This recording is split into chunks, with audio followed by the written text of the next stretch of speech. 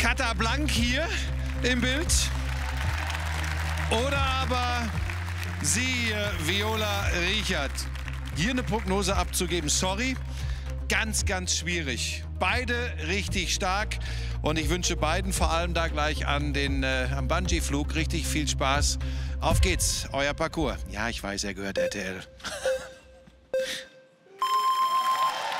Was glaubst du? Oh, ich finde es ganz schwer. Also ne, Katharina kommt so ein bisschen mehr, glaube ich, vom Kraftsport, Viola voll vom Klettern.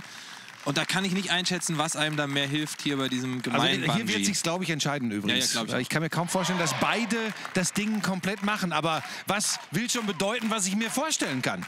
Kata hat Respekt. Viola, gut, richtig gut ja, im Katha hat mehr Respekt. Katha hat mehr Respekt. Aber, sie hält das auch, hält das auch. Noch ist gar nichts entschieden. Und Viola macht das Ding hier. Viola in Orange macht Und jetzt weg. Kata weg.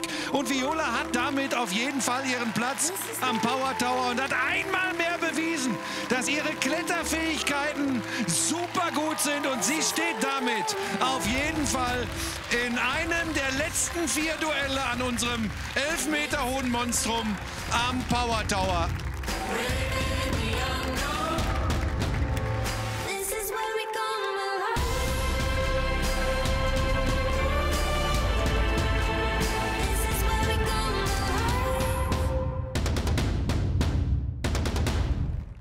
Also ganz so einfach ist es offensichtlich doch nicht. Ob es andere Athletinnen und Athleten weitergeschafft haben, seht ihr hier. Oder aber ganze Folgen ist auch schön. Hier.